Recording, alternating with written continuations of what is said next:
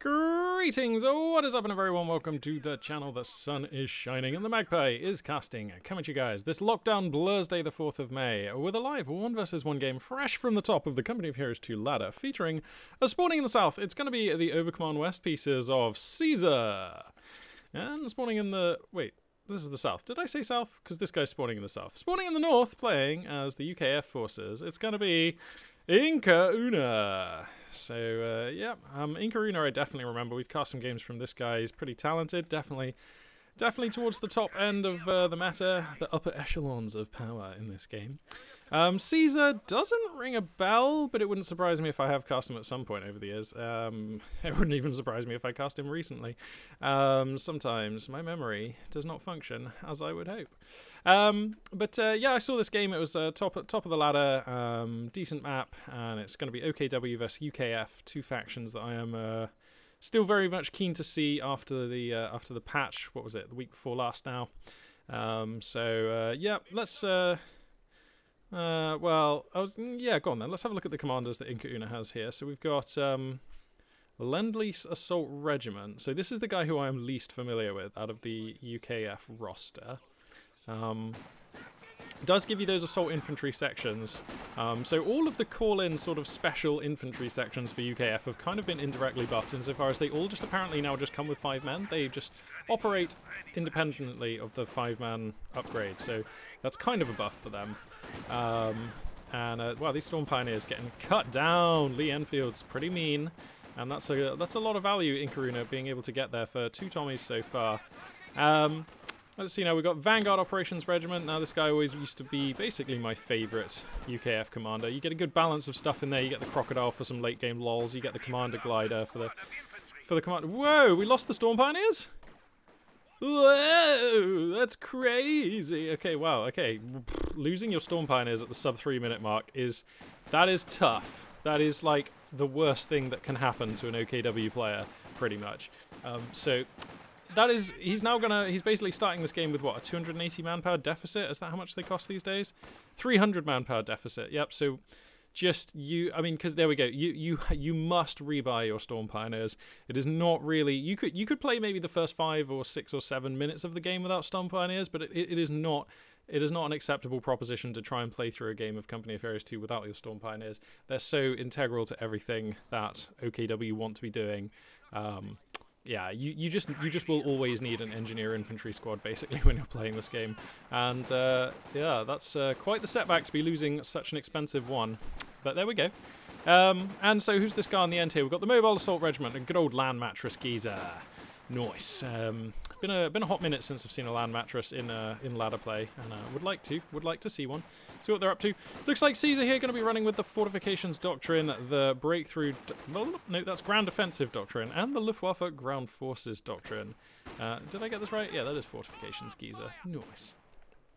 And as these two players rove around the map and get their initial scuffles underway, let's have a little think here. Uh, so it's been, what, a few days now since I cast a video. Lockdown doth continue. Uh, it's just kind of more boring lockdown times, to be honest. It's um, making my work a little more challenging, a little bit more difficult, so I, I do relish a challenge. Um, there have been some sort of upsides to this whole lockdown thing, but generally, I mean, I think pretty much I speak for most people in the world now when I say we're kind of ready for this lockdown to be over. Um, but, you know, knowing what I do about virology and knowing what I do about the way the world is and things like that, I suppose I I am glad that lockdown is on, and I appreciate that it is the correct thing to do for it still to be on, especially in this country. I can't speak for others. Um, so yeah, we just got to kind of wait it out and just deal with it as best we can. Um, uh, let's see. So there was a there was a Smash, uh, the online major, the quarantine major. That was um, over the weekend. So those of you who are into Smash Ultimate, you can check that one out. Um, you can you can hit the long stream on Twitch, or you can find the vods on YouTube. That was a fun one. Um, I've not actually done watching it, so I don't really know. But I just it was full of upsets. So a really interesting tournament there. Um, so yeah, that's been fun. What else has been going on? Um, GSL Code S has been entertaining. Um, spoilers, I'm going to talk about that for a little bit, I suppose. So if you have not yet watched the round of 24 in the GSL Code S, just probably skip forward a minute or two on this video because I'm going to talk about how. Okay, you've had your warning now. Dude, Scarlett totally got into the round of. What are they up to? Is it the round of. I think it's going to be the round of 16 next because 12 players come through from the round of 24 plus four who were seeded from the GSL Super Tournament. I think is how it works. Um, so yeah, she made it into the round of 16. She took out Rogue in like just my my favorite series of the round of 24. It was so good. That's worth a watch if you haven't seen it. Um, Scarlett vs Rogue. God damn, she came prepared. um, so yeah, um, StarCraft 2 has just been uh, what a what a game that is to watch. Oh my god, that, there's just been some fantastic stuff. It's nice to have that game back. They had a several month hiatus while uh, they set up some new tournaments, and then they were all you know that all coincided with just when this whole coronavirus started getting pretty big. So there hasn't been a lot of StarCraft 2 recently, but it is back on now in Korea, and uh, yeah, that's been hilarious to watch. Um, let me think now. What else has what else has been going on? Looks like we've got Battlegroup Tech here, BT Dubs. Uh, we've got pretty uninteresting stuff here from the UKF player. Mixing in a super early um, quarter pounder AT gun here. I mean, that is that is that is insurance against a, an early um, Panzer II Luchs. We know that that's not happening, and um, obviously, if Caesar had any intel about the what, what the base looks like over here, um, yeah, then they might not have gone for the quarter pounder. I mean, we may see. Pardon me terribly sorry. We may see um, a flak half track come out, um, but for now, that quarter pounder is does feel a little early. That is, there is not a lot of utility that this quarter pounder is bringing to the table right now.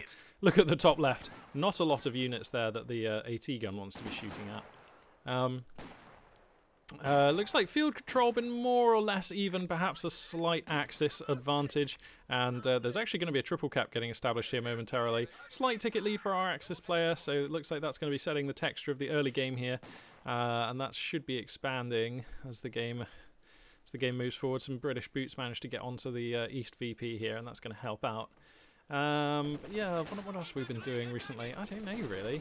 Um, there was a new set came out in Magic the Gathering. Haven't really given it a go, to be honest. Uh, I, I, will be doing so on Magic the Gathering Arena at some point, but I just haven't really got round to it. We've got some new casting hardware in the post. I'm hoping that that's going to arrive um, soonish.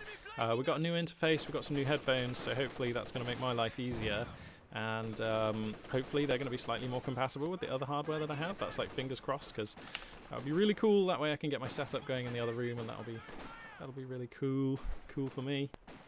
Uh, oh yeah, shout outs to Magiza Slady, um, Slade Tech matey. Uh, just um, I don't know. He's just always commenting in the channel and uh, always always pointing out some useful information and stuff like that. And uh, I did say I'd uh, give him a shout out on the channel. So Slady mate, if you're listening, this one goes out to you, bro. And uh, I hope things start picking up for you out there in America. Uh, looks like an MG34 here in a nice position. Getting a little bit flanked though, down to one one man, not falling back, so taking riotous amounts of damage, any amount of focus fire. These Lee Enfield rounds are all hyper lethal. he gets out of there, a little bit lucky there. Probably wouldn't have been the, the end of the world. He probably would have been able to pick up that uh, MG34. Uh, but it would have been an annoying squad wipe for sure. Storm Pioneer is going to be coming on in here. The metal detector is finished on them. Hopefully they're going to fare a little bit better than their predecessors. It's going to be a light gun build here from Caesar. And we are seeing this uh, relatively often, at least on the channel. Small sample size, I know, but it does seem to feel like OKW players are sort of uh, coalescing around the Lig as an acceptable kind of early game unit. And that's nice to see. I've always felt that the Lig should be the backbone of OKW's early game plays, but it never has really been in a position to provide that support that, that you really wanted it to until recent times. Um, now, of course, with its ability to come out a little bit cheaper, that's massive, and also to put down smoke, that's the biggest thing. Like, it blows my mind that they just released OKW as a faction with no access to smoke. Um, at all in like the early or mid game outside of a commander. There, there, was just no way of getting smoke on OKW, and this is a game where like if you don't have smoke, then a machine gun in a building is basically like you can't do anything about that before like the 10 minute mark in the game. Like it's, you know, and um, you know, as we all remember actually when uh, OKW first came out, of course, Volks Grenadiers didn't even have incendiaries. And then they added incendiaries as a way of helping you beat MGs in buildings. And it's like, but we still can't get to the MG in the building because it's an MG, and like Volks Grenadiers get pinned. So can we have some smoke? Like, so anyway, yeah, yeah, we got smoke now. That's great. I'm still every time I see a Lig with the smoke button here, I'm just like, oh, a little bit of me, a little part of my soul is pretty happy. Um, So yeah, still loving that. Still loving that the light gun is also just like affordable now at 270 power. It's just found the niche that it needed to occupy within the game, and that's great. That is great. Actually, you know what? Whilst I'm talking about other stuff that's not Company of Heroes 2 related, actually, how we we got a bit of a fight coming down here, so let's just focus on this. MG34 going to be dackering away from midfield. Plenty of Tommies and uh, Volks exchanging all over the map here. Incendiary Grenade going to force back a Vickers gun from uh, its vantage point along the midline of the map. And it looks like Caesar here, set to make uh, some pretty nice gains here. The light gun hitting in for a little bit of damage, that's always nice to see. Actually, half a, half a level of veterancy on that gun already. Testament to its uh, accuracy. Jeez. Is it just me or are light guns kind of... I, I, I, I hesitate to say good, but are they kind of okay now? They seem okay. Oh, great. The times we live in. Uh, and as uh, as Caesar breaks uh, the substantial backbone of this of this UKF uh, resistance, um, I'll take a moment to mention as well. I believe it's in June. The Command and Conquer remastered package comes out on Steam and probably other places. Dude, that's hype. Command and Conquer, a series probably quite dear to the hearts of many of my watchers and viewers and listeners, um, and very dear to my heart. I think Command and Conquer was the first RTS that I really latched onto as like, hey, I like this game, I want to be playing it. Um, and yeah, Command and Conquer and Command and Conquer Red Alert um, kind of ushered me into RTS in a in a fairly big way. And you know what the funny thing is? I actually didn't play Red Alert on PC. Red Alert was my most played Command and Conquer, and I did not play it on PC. I did not have it on PC. I played it on PS1. Yes, that's right, on PlayStation. So me and my friends, we used to LAN up our PlayStations. We used to play Command and Conquer Red Alert with PlayStation controllers. And I'm gonna I'm gonna be real with you guys. We were about as good as you could get, like using a controller in an RTS. Like we just accepted that that was how the game was going to be played, and we let loose on it. And in some ways, Red Alert on the PlayStation was actually really good. Um, the graphics were actually a little bit buffed. The engine ran a little bit smoother. Um, it was like a version 1.2 of the engine or something like that. So like there were some cool animations for Shroud and uh, Fog of Wars uh, and stuff. So yeah, it was actually really cool. Um, but I am looking forward to playing that game in its remastered form on PC. Now, because I because that was like my first RTS game, and because I was like I don't know, I must have been I cannot have been very old, let's put it that way, when I was playing uh, Red Alert. I, I, it's, it's actually, I can't even, it's hard for me to imagine, like, what, it must have been, what, 1996, I'm gonna guess? So Young Magpie would have been like 9 or 10 years, between 8 and 10 years, or something like that, I don't know. I, I feel like I was pretty young when I was playing Red Alert, the first one. Um, and, uh, yeah, we played it a ton, but of course when you are that age and you're sort of learning the basics of RTS, you are not playing in a very competitive way. And on PlayStation, we had no online matchmaking or no real way of kind of finding other opponents outside of our little friends group. So um, I actually have no idea what high level Command and Conquer looks like. I actually even don't know if Command and Conquer, the game, is really detailed and nuanced enough to support anything that we to, to support a high level play environment. I, I honestly just don't know. I have no idea what the meta looks like. Oh, this is going to be a good one. Um, I have no idea what the meta would look like. I have no idea about anything about about um, Command and Conquer and how it might look um, in the hands of people who are good at RTS. Absolutely no idea. Uh, so I'm really looking forward to seeing that. I probably will be picking up the remastered package. I believe it's not going to be like full game release price. It's going to be about sort of 20 pounds sterling. Uh, something like that. 15 pounds maybe, I don't know, I can't remember. Um, but so yeah, for that I'll probably be picking it up and um, giving it a go. Who knows, I might even head out on the ladder and see what we can get done, assuming that, you know, online play looks like something I want to get involved with. Again, hard to say, these are old games, um, and I have no idea if uh, that sort of play is going to be appetizing to me. Um, but that's exciting. Command & Conquer Remastered, coming in June. That's hype. I that's exciting. Going to be doing that for sure. Um, right, I've been blathering on about various stuff for a little while now. Let's turn our attention back to the game that we have unfolding before us. Um, obviously, there's a Cromwell on the field. Uh, that's sledgehammered in. Caught the OKW player Caesar here. A little bit, uh, a little bit off guard. Mm, was able to utilize this line of sight blocker to break a few OKW squads, push back the MGs. We've got double Kettenwerfer on the field though now, so Caesar definitely has the tools to deal with the British medium tank. Uh, and Langreskaya, a small enough map where two Kettenwerfers actually really will cover you, even against the whole sort of breadth of the map. Those are uh, British mines there, so no danger to this Cromwell. And uh, yeah, this Cromwell just going to be shoving around units that really can't interact with it. Actually, a Kettenwerfer is here to cover. That's going to force the uh, force the Cromwell back for now. Oof, takes an extra hit on the way out. This Cromwell a little bit low now, probably wants to scurry away. Let's check the tech for the OKW player, and we can see Schwerpanzer HQ with Panzer author authorization is up, and we're approaching Panzer IV money. So yeah, we're going to have Panzer IV option very shortly, or we could save for more. Uh, looks like uh, Inkaruna is going to go ahead and pick the Assault Regiment guy, Mobile Assault Regiment, and that's how comes we've got flamethrowers on these Royal Engineers. They're going to be burninating as many Germans as they can. Um, and so what else are we getting here? We get the Burninators, we get Advanced Cover Combat, they get the improved cover bonus for 30 seconds. Um, and they receive the regular cover bonus out of cover. Interesting. All right, so that's 75 munitions. We'll see if we see that used. Uh, we get, uh, this is the vehicle repair um, operation that we can see happening now. Uh, so smoke comes down and that enables the vehicles to repair. We've got two squads of Royal Engineers as well, so these repairs are coming down quickly. No metal detector, worth noting though. Flammenwerfer or Flamethrower on both squads. Uh, Panzer IV indeed will be the choice here for the uh, OKW player. That does make sense. The Panzer IV is a great tank and it will help deal with the Cromwell to a large extent whilst also presenting a decent threat against all of these infantry squads. Um, so yeah, I'm, I'm, happy with the Panzer IV here from Caesar. It is a firmly okay choice. Um, looks like Caesar's going to go ahead and choose the Fortification Doctrine. That's how come we saw an S minefield getting set up by those Volksgrenadiers just now. That's going to be blowing up some Tommies here. Nice stuff. And this is one of those maps where a single Pak 43 in a nice position will lock down like about two-thirds of the relevant map area, the relevant play area.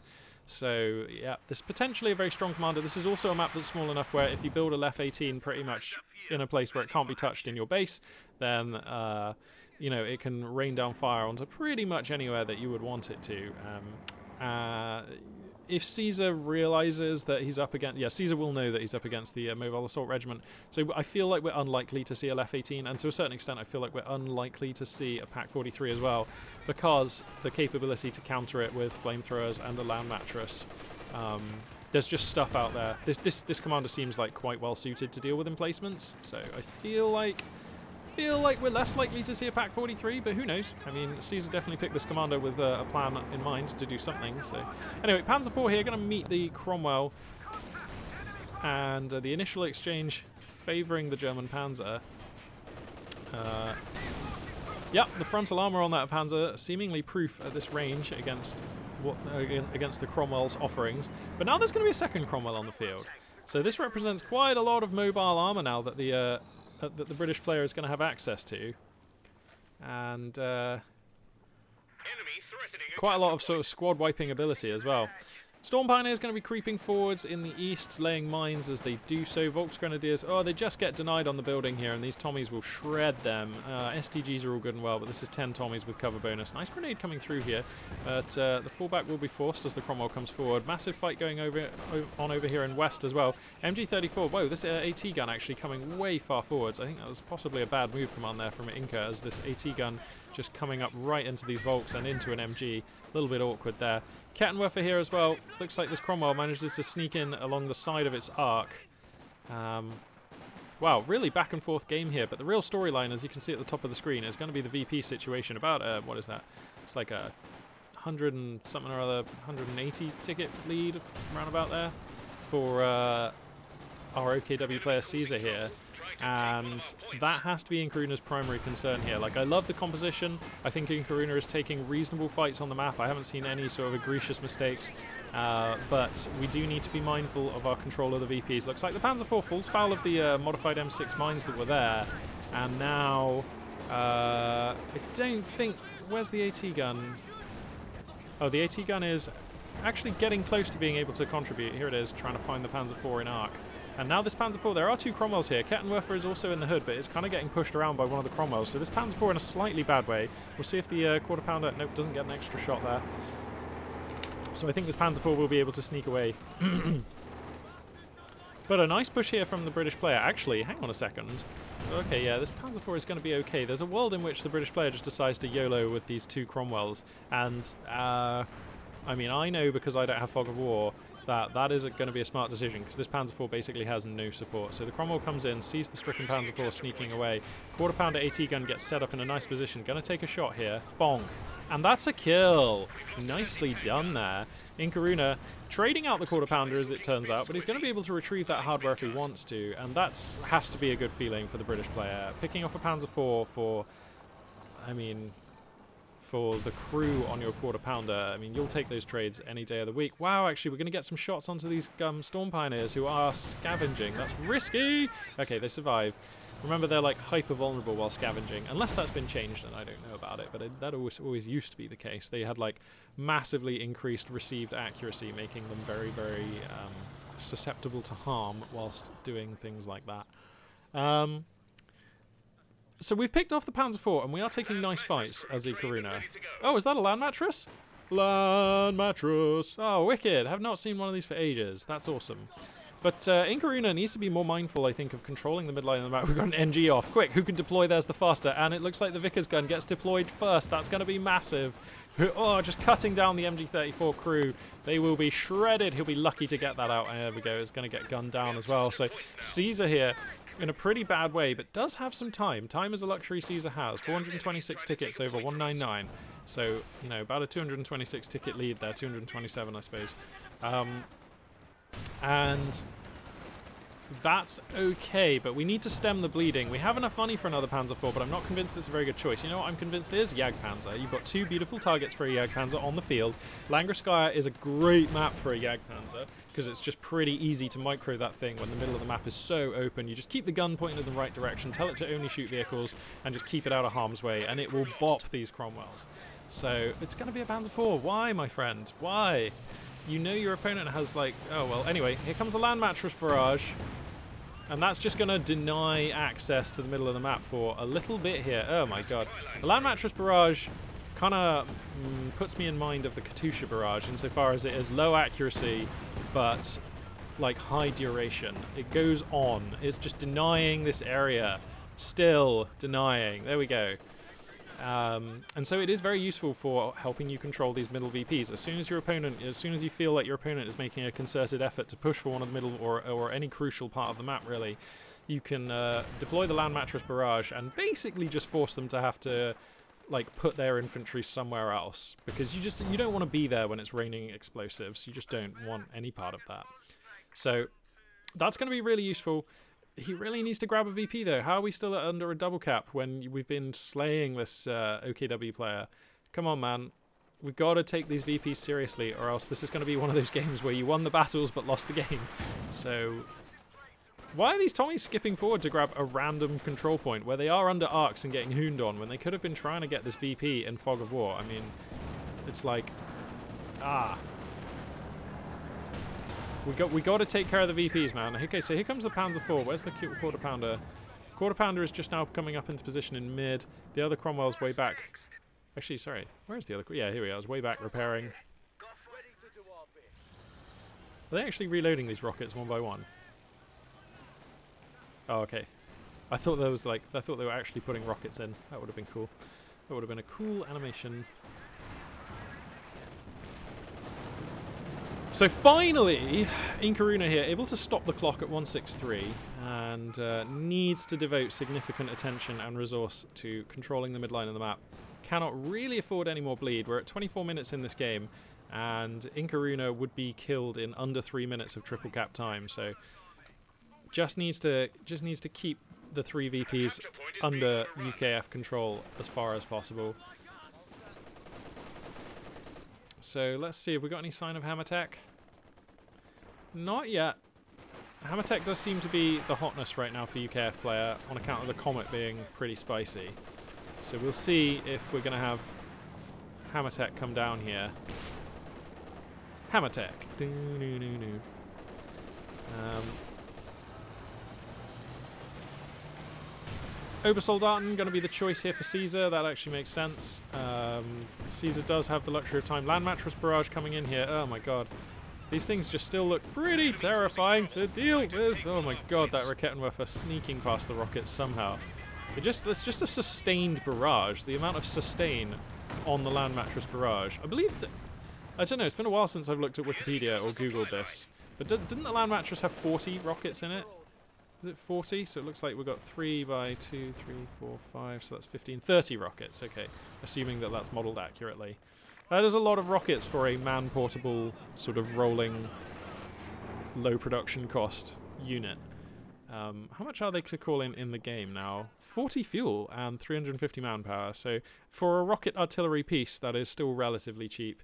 Um, and, you know, it is fairly low risk. I mean, your opponent has to be quite hard pushed to break through and get to this land mattress, and even then, because it is not a fragile vehicle, it's a fragile weapon team, but that is still more durable than your average, like, Panzerwerfer or Katyusha or whatever.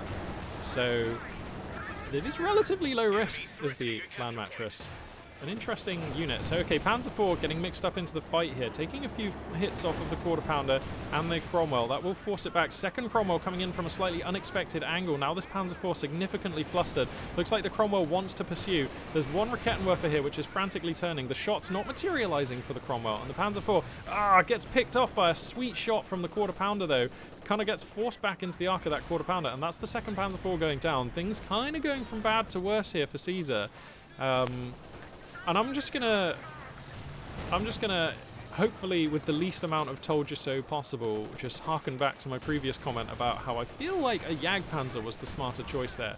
You know, Jagdpanzers have the range, they have the stopping power, if you like, to answer. They are more cost effective against armored units than a Panzer IV, and when you are building this armored, when you are building a fuel choice into two medium tanks from your UKF opponent, surely that's the environment in which the Jagdpanzer was designed to thrive in, right? And on, and on Langreskaya, you know, we've all microed Su-85s and Jagdpanzers and to a certain extent ISU-152s and stuff on this map. It's pretty easy, man. You just keep them back here, and as soon as your opponent presents an armored target, just roll them forwards, take a shot, roll them back. Roll them forwards, take a shot, roll them back. And it's just pretty difficult for your opponent to get to grips with a tank destroyer style unit under those circumstances. And because of the way Langreskaya, the middle of the map is laid out, like uh, a tank destroyer garrisoning anywhere around here locks down like a good two thirds of the map. Essentially, I mean, it, it's not it's not foolproof. Things can go wrong. You have to be awake. You have to play the game. You have to, you know, your opponent can flank that position. You have to make sure that stuff is all right. But it's a relatively easy map to achieve that sort of playstyle and achieve that kind of value with the uh, with the Jagd, um, Jagd, well, with the tank destroyer units. Put it that way. So I feel like I'm still, I feel like this second Panzer IV, perhaps slightly ill-advised, um, and, you know, maybe a Jagdi would have been better, I don't know. Land Mattress here going to be flailing another barrage here Obersoldaten. We're going to get caught on the fallback coming through the uh, the blast radius, the uh, the lethal zone. One of them gets gibbed, but the squad will survive, so that's crucial. Light gun going to reposition. By the way, that light gun on three stars of veterancy, 14 kills, well on its way to a fourth star of veterancy. Testament to how useful these units are being to OKW players these days. I mean, I know that we're half an hour in the game, so you might think three stars of veterancy not not super great, but this is still an indirect fire piece. You know, they do vet up a little bit slower on average. So I don't know. I'm just saying that this thing has provided utility. Let's put it that way. Um, so Inkaruna here in a, in a nice position, going to be shoring up the midline of the map. UKF uh, forces going to be grabbing that position. But there's a poke here from Caesar, going to be moving out into the east of the map. Double Kettenwerfer leading the way. And that's great, because it's the two Cromwells who are on defense over here. Well, the initial shell from the Cromwell gives two crewmen on this Kettenwerfer. That is nice. Okay, he needs to move the medium tanks, and that he will.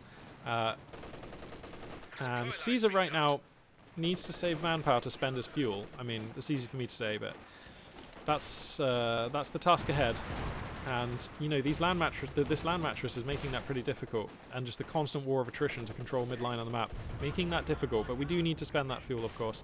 No sign of um, mechanized regiment HQ, so I don't think we're on a KT plan. And indeed, a KT plan would seem ill-advised in this position. Like, you just don't have the best map control, so you don't have the best fuel income. So is it realistic to be going for a KT right now? Uh, I would argue that you kind of need to stabilize, you kind of need to convert that fuel into battlefield value in a more immediate way. And um, oh, I'm just a broken record, but let's let's get let's get a Jagdpanzer out here, Caesar. Let's do it. So, okay, uh, MG34 oh, gets destroyed as well. So, Inkaruna just out for blood here, putting together what is becoming quite a convincing showcase of UKF power. Uh, up to three Cromwells, of course, I'm sure you've all noticed. And that represents considerable mobility and squad wiping power because I mean this is the thing with Cromwells you can they are fast enough to run down retreating infantry units. So two Raketenwerfers desperately trying to hold the tide here. The Cromwell's even content to stay and trade for a bit of damage on one of them, looking to perhaps pick off a Star of Veterancy there. Whoa, bro, you need to get this tank out of here. Let's get out of here now. There we go. Um, there we go, that's four stars of veterancy on the light gun. It gives you something super meh. An extra shot per salvo. Cool. I will say this for the uh, for the uh, light gun. The um, the really kind of, in my opinion, needs looking at. It's just so underwhelming. Um, but there we go. So land mattress here, just kind of keeping the OKW player back. I mean, that's not the best barrage, but you know, the land mattress is actually a low enough investment that it is the one rocket artillery I feel more so than any others. You are okay taking speculative, speculative, Spe speculative, speculative, speculatory. You are okay taking like barrages basically where you don't really know what you're firing at but you think there might be something there and you just want to deny the area from your opponent. Because it doesn't represent the squandering of that many resources. They seem to reload like in the same time as your average rocket artillery. Seems to be about 90 seconds maybe a bit more. And the duration of the barrage is like decent enough. You you can actually just fire speculative barrages and it's kind of okay. You can even call in like two land mattresses for kind of more or less the same cost as a Katyusha or a Panzerwerfer, at least in terms of fuel, which is usually the limiting variable. So uh, I am okay. Like, normally I'm quite critical of players when they throw down these barrages, and it's like, you didn't even have line of sight of where you were shooting. You were just hoping to catch something. Like, normally I'm really critical of those. But with the land mattress, it's like, you know what? That's okay. That is almost a feature. Um, so, obviously, we've all seen we've got Panzer on the, uh, sorry, Panther on the queue here. And I do like the Panther, this makes a lot of sense. It is essentially a better Jagdpanzer with a turret, with more armor. Um, and it has the capability, you know, if a Panther gets to two stars, then it becomes actually very difficult to kill. The armored skirts make it pretty tough. Uh, I mean, it's tough already, but they make it very, very durable. And then if you can get it to two stars, then it's a very real chance that you it's just not going to die that game, and it's going to go on to get four stars and help you stabilize in a really meaningful way. And OKW, you know, they have a lot of they have a lot of units where just if they can just survive, you can actually kind of start turning the game just on the basis of like your units are just getting so much more powerful for the veterancy than than what other factions can achieve with veterancy. So the Panther is okay. Taking a bit of a risky line here, just driving it across the front, side armor exposed. If there was a, a quarter pounder lurking here, we would have seen a shot on the side armor. Uh, so a little bit of risky movement there. But he wants to transition across here. Knows he's got a broken engine on a Cromwell here. So comes on in. Wants to put some more damage onto this one. Quarter pounder is here for support though. So I don't think the Panther can sneak around for the kill. I don't know. It's got good range. Okay, now, yeah, you see other Cromwells are just going to rotate in to save the... Uh, to save their friend. Land mattress firing away. I'm not quite sure. Okay, going to be hitting over here to defend this VP. These Volksgrenadiers, this is a brave decision trying to stay. I mean, it looks smart if they don't die. It looks dumb if they die. Okay, smart guy. Smart guy. That was the right choice. he, he stays and he gets the VP. I mean, as we all know, if you start suffering core infantry squad wipes in the late game, that is a really fast way to lose the game because your manpower income is so low and you need that manpower anyway just for reinforcing your squads and trying to spend your fuel in a timely manner that losing core infantry you often just cannot replace them. So that was quite the risk to be taking there with that with that squad of Volks. But uh, Caesar, I guess, feeling a little bit desperate now that the scoreline has substantially closed up. Obviously, Inkaruna has been like largely dominating the last phase of play. Uh, triple Cromwell and a ridiculously vetted up UKF army, which if I would level a criticism at, it is weird to me that he has not yet gotten weapon racks. Uh, okay, so Hammer Tech did finish, but we've not gotten weapon racks. Is that for real? That's given the amount of resources he's stacking. I'm gonna I'm gonna go ahead and say that that's an oversight because if these three-star Tommy squads have Bren guns, I mean, I'm just not sure how you realistically are able to make an infantry advance onto the VPs as the Axis player against three Cromwells and th four three-star Tommy squads with Bren guns with appropriate support in terms of indirect rocket fire and machine gun. Like, that's very difficult to achieve any progress against. So kind of neglecting to get some value here as Inkaruna. Definitely the price of those weapon racks not prohibitive. Has the munitions, of course, to buy all of the Bren guns. So I would I would really like to see him go for the weapon racks just to cement his position in this game. Uh, a small point, but um, you know, at the high levels of play, it's the small things that are the deciding factors.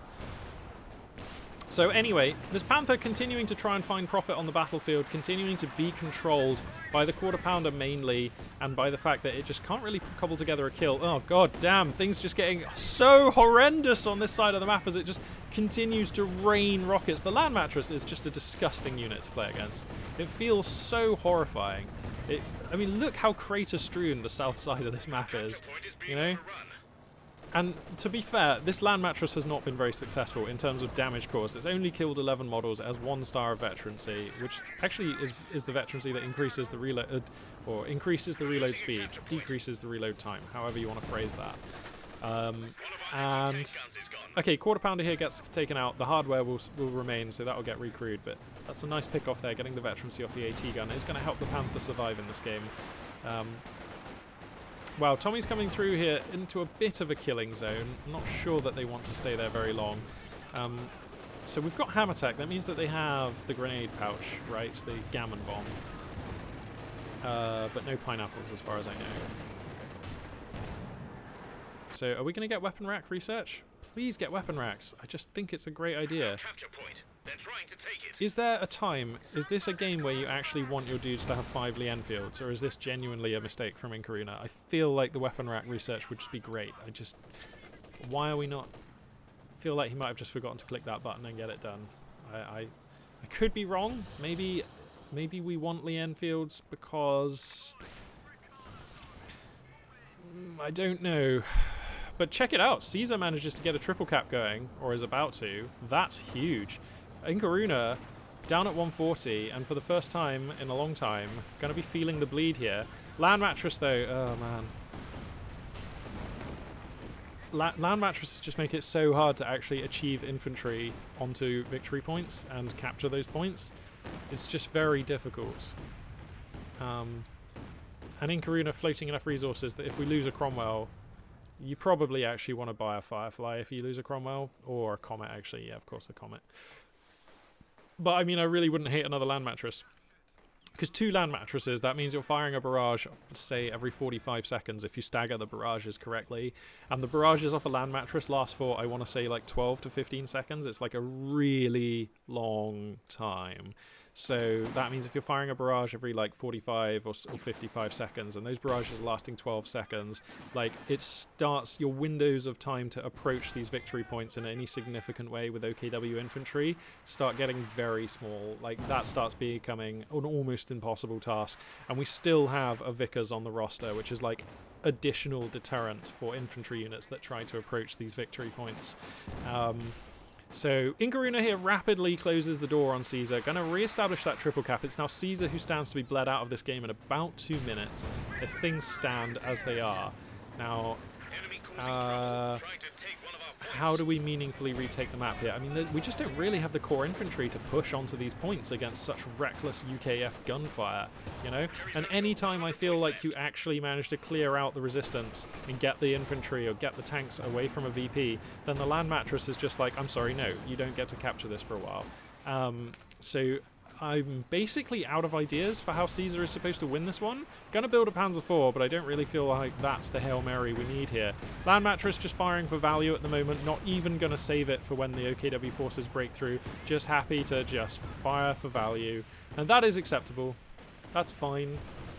That is just that is also an acceptable use of the land mattress unit under these circumstances for me what? Look at the look at this look at this area of the map, man. It's like a crater-strewn, charred, smoking wasteland. Then look at the north side of the map. It's basically a nice place to be. You know, if you put out a couple of deck chairs, you know, you could chill out here. It's fine.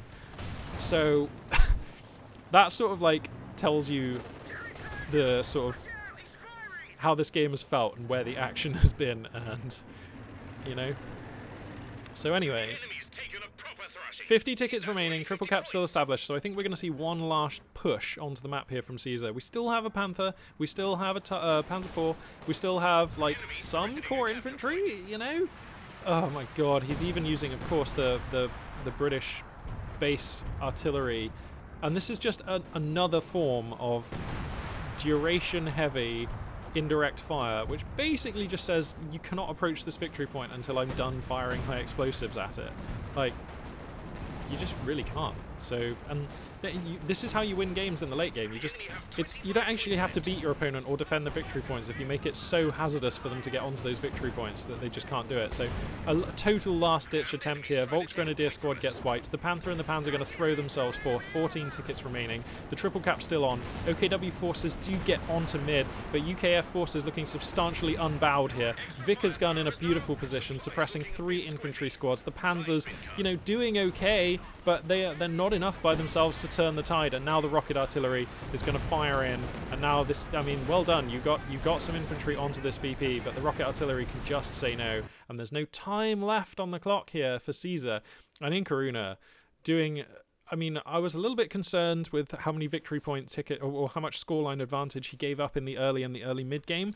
But clearly, once Inkaruna stabilized, you know, we saw Cromwell's used in a way which we're kind of used to seeing T34s used, just kind of the first one gets out, the first one finds value and is profitable, and then it is followed rapidly by additional medium tanks, and then that value starts snowballing.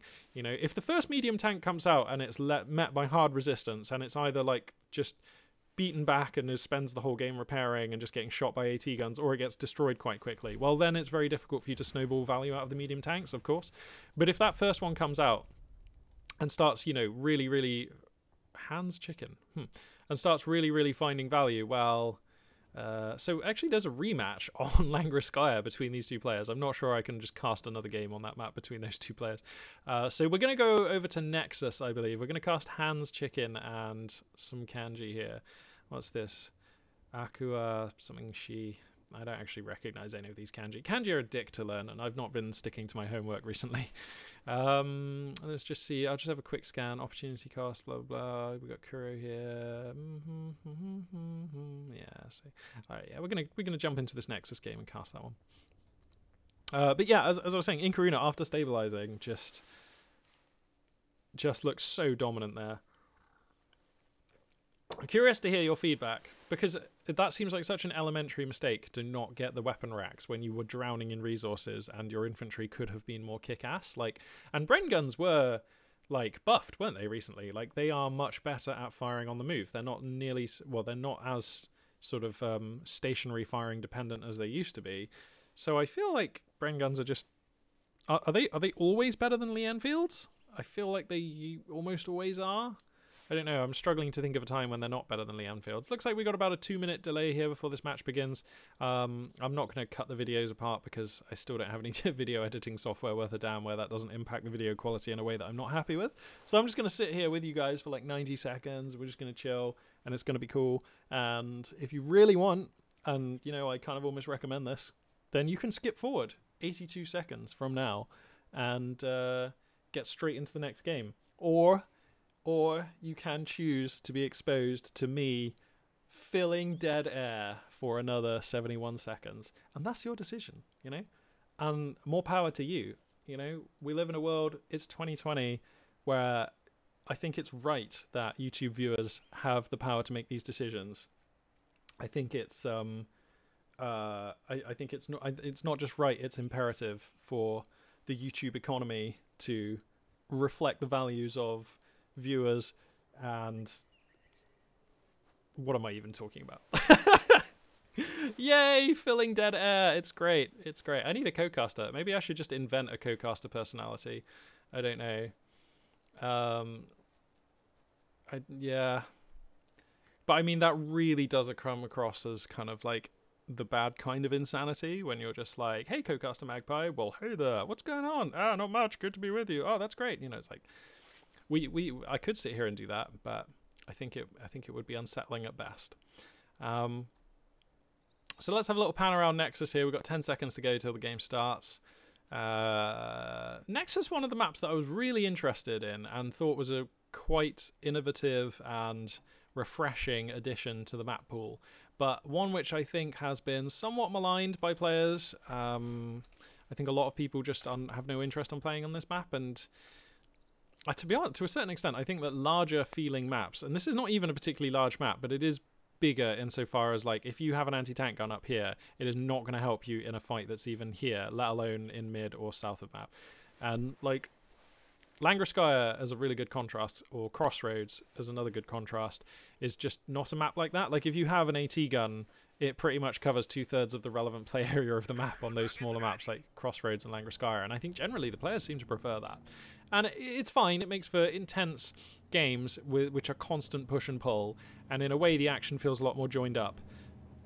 But it, you don't get the positional uh, decision making and the sort of force allocation decision making that you do on maps that have proper sort of different zones for combat where fights are actually like in different places. And the other nice thing about maps like this uh, is that you know if you have a tiger tank, for example, then it just can't be in every fight at once on a map like this. So I feel like the proper weaknesses of slower, heavier units really are manifest on properly balanced maps like this. I'm going to call this like a balanced style of map rather than a sort of small or compressed style of map like Crossroads or Langres. Um, so, and I honestly I quite like that because it, it, it, means that King Tigers and Tigers and Pershings to a certain extent and IS2s and ISU 152s they don't feel as inevitable as they do on the smaller maps because you can just decline to fight them. You'll just be like, okay, I see your Tiger tank is in mid. I'm going to push in north and south. Or oh, you know, I, I see that your IS2 is at north. I'm just going to not be there for now. And that IS2 and that Tiger tank in those circumstances is still getting value. It's getting massive value. You know, it's like it's it's actually so powerful that your opponent is not going to be fighting there. But at least there's a backdoor option. There is another choice. There is a decision available to your opponent to say, I'm going to prioritize pushing in other areas of the map because right now I don't want to be fighting into a, your heavy fuel choice unit, whatever that might be.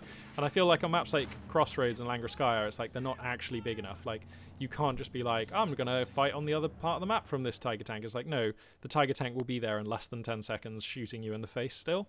And it's like, uh, it just makes them feel very inevitable. And, and that's fine. It does make for cool games, action-packed games, cool games that are awesome to watch. But like, it's nice that we have maps like this in the pool where there's a change of pace. Anyway, speaking of change of pace, we've got some interesting stuff already coming out from both of these two players. We got a special rifle company opening here for uh, Hans Chicken. Um, so we've got the clown car out. We've got this is going to be a penal build as well. So I'm already excited to see what Hans is going to be bringing. The commander pick here is going to be the forward HQ geezer, whose name I always forget. Urban Defense Tactics. You know, so this is the guy who gets the light AT gun, gets the shock troops, gets the booby trap points, and of course gets the siege tank, uh, the KV-2 heavy assault tank in the late game.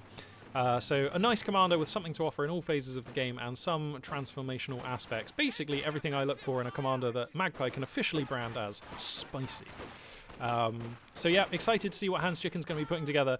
Spicy Commander plus Spicy Penal Special Rifle Company opening. I am liking what I'm seeing here, uh, so that's cool. Uh, Kanji here looks like we're already. Yep, we got a we got an atypical, unusual, non-meta commander pick here. We've got Overwatch Doctrine, and of course that also makes me happy because Goliaths, and Goliaths are great. um, I, I, have a lot of fun with Goliaths. Um, I've already actually pointed people towards these videos on my channel recently, but if you if you like Goliaths, or if you are curious about the kinds of mayhem that I inflict out on the ladder, or used to inflict in times gone by, do search my YouTube channel for the Goliath compilation video. It's just couple of Goliath, sweet, sweet Goliath games that I played, and I cut some of the better hits together into a compilation. Nice. Uh, and if you enjoy watching me blow people up with Goliaths, you'll enjoy watching me blow people up with Storm Tigers. Uh, and uh, you can search my video, my YouTube channel for the Storm Tiger compilation, uh, which um, literally is just that: um, video images of dudes getting horrendously abused by me and my Storm Tiger. So yeah, um, if that's your thing, if that's if you're the kind of person who's into that, then you may enjoy those videos. So, looks like we've got a Kubel opening here as well, actually, from the OKW player, which is becoming less a spotted. Raketenwerfer comes through with a lovely hit onto that scout car. That one gets taken out real early here. As often scout cars are wont to do. I mean, I think everybody, when you when you go for a clown car opening, it is it is you accept the asterisk disclaimer that your clown car may die very rapidly. And that's fine, you know, they're cheap. You don't expect them to have much longevity in your average game. Demo charge comes down here, actually. Controversial. There's a lot of munitions to be laying down for a pretty speculative mm, demo charge there. Uh, I think you were kind of relying on Kanji to be asleep if you really thought that that was going to do any damage. Jaeger Light Infantry Command Squad, actually, infantry Jaeger Light Infantry Recon Squad. Yeah, just Jaeger Light Infantry. They've got like they've changed the um the icon for this a little bit. So for a second I thought it was something different. So yeah, Jaeger Light Infantry Squad going to be coming out onto the field here. How much are they now? 300? 280. Okay. Um, and that's a very useful squad. It has sprint, it can scavenge, it has uh, booby trap point, and you can upgrade them with the G43, and it be basically becomes the closest analog that OKW has to an actual sniper. I'm still hoping one day they'll add a commander to the game, although we may now be past when the times when they'll ever add commanders to this game. Uh, that is that is a real proposition. But I have always been excited for the day when they would add a commander to OKW which has access to a German marksman in some guise, so that you can call in a German marksman who has access to five stars of veterancy and possibly some other OKW spice. Um, but until that day, Jaeger Light Infantry will be the closest thing OKW can really get to a sniper unit. And uh, there we go, the G43 upgrade coming down. And, um, you know, sniper type units and abilities, um, like high damage per bullet st style stuff, is better the more valuable your opponent's infantry is, like per model. So penal battalions sort of playing into that. I mean, penal battalions are worth more than conscripts per head. So I don't know. That's something, I suppose, going Kanji's way just based on composition. It's going to be a battle group opening here for Kanji, and it's going to be a uh, flak half-track opening. So that's kind of cool. We've got Jaeger infantry with Kettenwerfer into flak half-track. So uh, definitely not your average OKW composition for sure. And that's exciting stuff. Map control here has substantially been favouring the Soviet player, um, just being able to control the midline and have more units marauding into the eastern side of the map than there have been vice versa. So um, that's going to be resulting in a nice little score lead for the sub 10 minute mark. Hopefully, uh, for Hans, they'll be able to develop that a little bit further, and that will be a source of pressure which they can apply through the later stages of the game. Here comes the flak half track, and we'll see if that's going to change the dynamic and be able to retake control over some areas of the map here. It's going to start dackering down these penals. I think uh, Hans thought that they were out of range from those sandbags, but they were not. And they'll be forced back. Kubelwagen here going to be getting caught out. The PTRS upgrade, actually. You know what, actually? Is it not a weird choice to go for a flak half track into an opponent who has clearly demonstrated that they are wanting to do a penal build, right? Because don't PTRSs just really make the flak half track have a hard life? Am I am I wrong about this? How much is the PTRS upgrade? Okay, it is reasonably priced, so we're not going to see PTRSs for some time, weighing in at 60 per upgrade. So I believe that's 30 per rifle because you get two. Yeah. So 30 munitions per PTRS that you want to add in, but you have to buy them in twos. So I still think that that's probably fine. The fact that the flak half track is like susceptible to PTRSs, combined with the fact that it has a setup time, so those PTRSs are always going to get to fire first, basically means that PTRSs are actually like better at countering flak half tracks than they even are against other forms of like light axis armor. And uh, even to bolster that, we're having a T70 going to be coming onto the roster. Um, so I feel like this flak half track has come into a tough existence here. Whoa, these PT. Wow, this could be a squad wipe if things. No, okay, right. That was that was getting close, but he's going to be just fine. Sometimes the damage on the um, flak half track can just roll a load of great hits and just do a ton of damage, and that, that was a bit of a late fallback there. So for a second I was worried for those guys, but he's going to be okay. Um,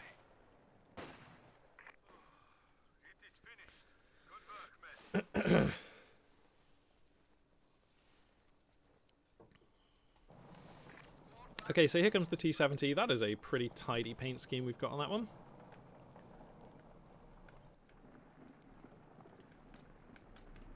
So I guess one drawback of going for, for penals is that they are a bit more expensive, of course, than your average Soviet infantry. Let me just check how much they these days. Yeah, 300. Um, so we've gone for three penals. We also went for the, the for the scout car. Um, and we've gone for the T70. All of this combined basically means that mm, Hans Chicken actually doesn't have access to the volume of Soviet infantry that we're often used to seeing. Uh, he's, a, he's, a, he's about a squad behind, maybe two, in terms of what we might expect from a Soviet player. Uh, is this going to be... Yeah, so of course Tankovy Battalion Commander's here because we've got T70. We'll see if he opts to back tech. I find it unlikely because we have access to the light AT gun. In fact, speaking of which, one's just been called in. So the utility offered by the... Uh, support weapon Kampaneya, I mean, you basically would just be buying it for Maxims at this point. And he may go for that at some point, to be honest. I mean, this is one of those maps where having a Maxim overwatching VPs is how we often see like late games won. You know, well, I say Maxim, just having a machine gun that's overwatching VPs is pretty valuable stuff. Nice mines here, going to catch out these Volks. Um, so, but who knows? He may actually be able to pick up uh, some Axis hardware as this game goes on to have access to MGs. We'll see. Definitely no pressure to build a special rifle, uh, uh, support weapon Kampaneya at this stage in the game, though. I'm just sort of thinking out loud as I assess the choices available to our Soviet player here.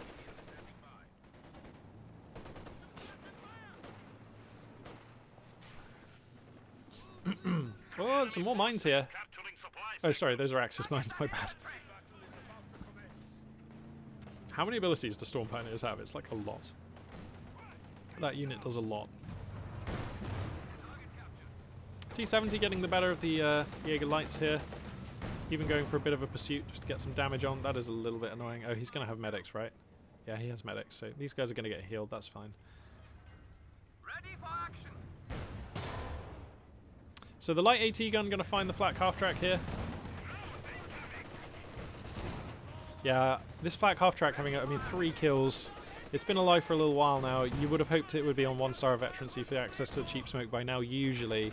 So, I, I mean, it's definitely having a hard life as this flak half track. T70, light AT gun, and just, um, even with no PTRSs, uh, having a pretty tough existence finding value out on the field right now as that flak half track, but not dead, so could go on to achieve things, but we'll see. Not the start in life that you'd want for the OKW player for that flak half track. Kubelwagen comes up to the north to scout and investigate exactly what Soviet units are making making gains up here.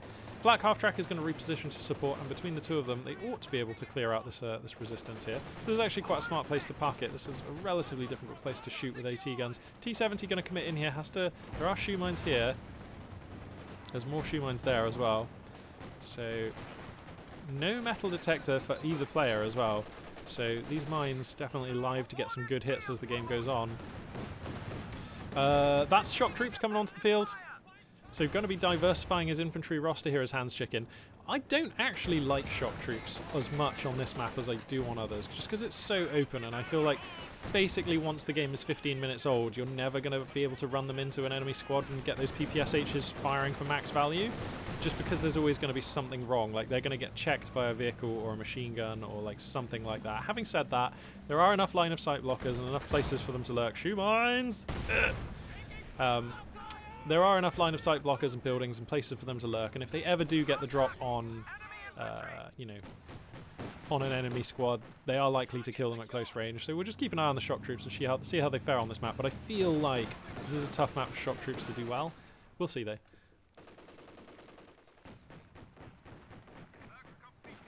So Smoke comes down to try and buy them some time to cap here, but you know between the Kubelwagen and the uh, flak half track ain't going to be enough, and uh, they're not going to be able to get this point. Storm Pioneers come forward to capture, uh, to sorry, to repair the Kuba while it captures the point. Schwerpanzer HQ is getting deployed just north of the OKW base here. We'll see Schwerpanzer... Oh, sorry, Schwerpanzer HQ has just finished indeed. So how much fuel are we on? Going to be a minute or two before we get to see a fuel spending choice here at the OKW player. In the meantime, putting that Schwerpanzer HQ to use, grabbing the Obersoldaten.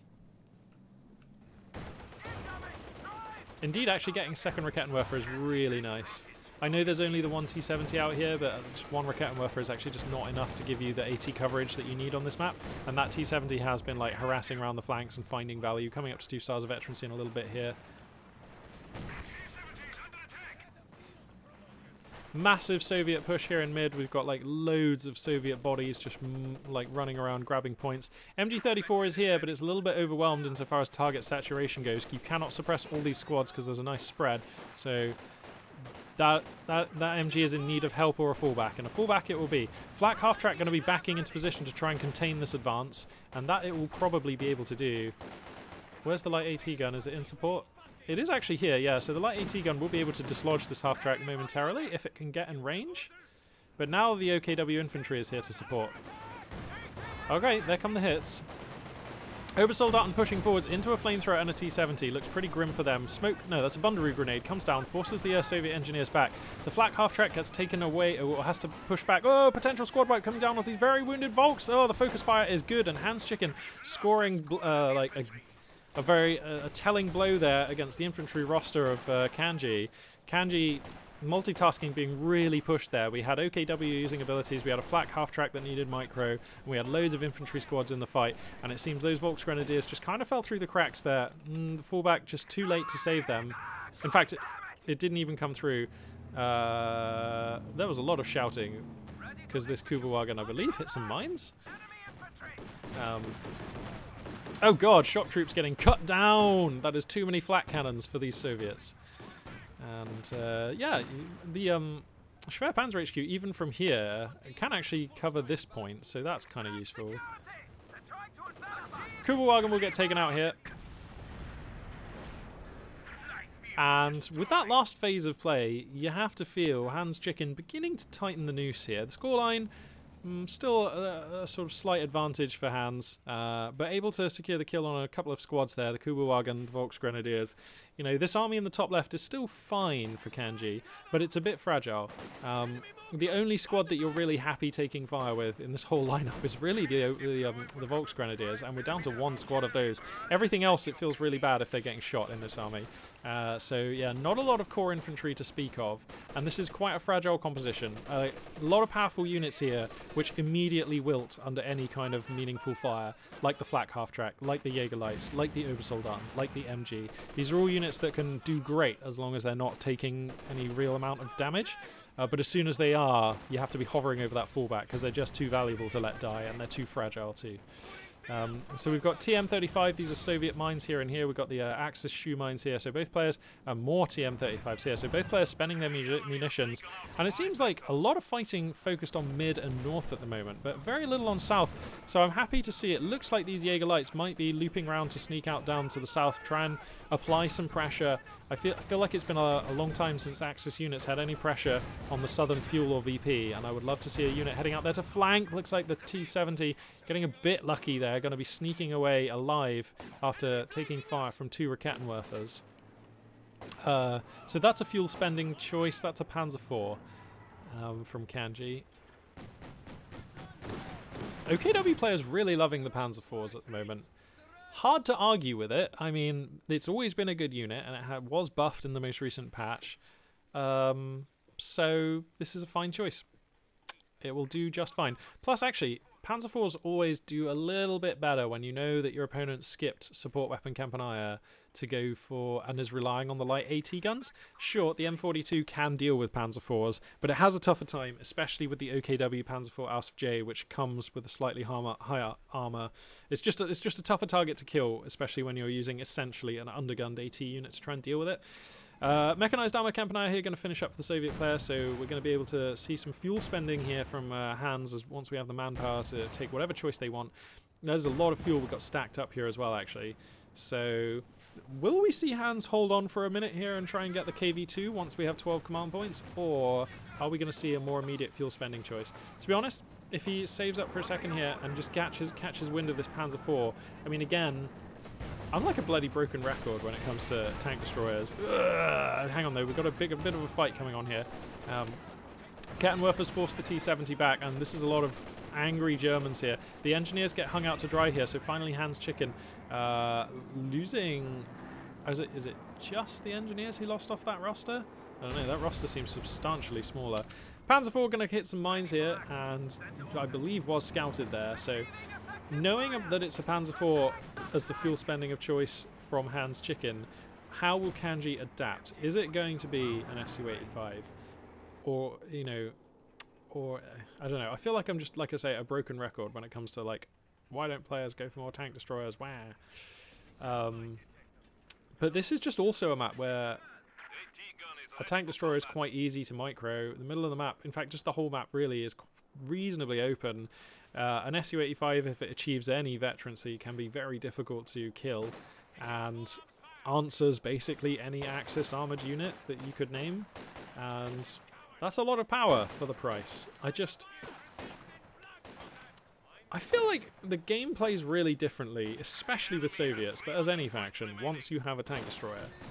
Like, because then your opponent is always fighting into a tank destroyer, and a tank destroyer will always fire first on their tanks, all things being well. And just it just makes life so hard. It just makes life so hard. Um, so I don't know. I don't know if we're going to see an SU-85. He is saving, so I feel like this is a KV-2, which is the flashier play. It is literally the more explosive choice, and it is more fun to watch. So yeah, I hope. I hope here. I hope it is going to be a KV2, and I hope it's going to be cool. How much manpower do you need? 630. Actually, so we're still more than a minute of manpower saving away from that. And you can bet Hans Chicken's going to need to reinforce some squads in the meantime. So actually, saving up for that KV2 is going to be more difficult than we thought. And dare we say it here, but Kanji starting to feel a bit more confident on the map. Uh, the Panzer IV is helping. Obersoldaten have the MG34 and the Star of Veterancy. They are beginning to flourish in this game. Another squad of Obersoldaten are coming out. And I worry. We lost the Volks. Oh no, we lost the other Volks squad at some point over the last phase of play. Sorry, I missed that.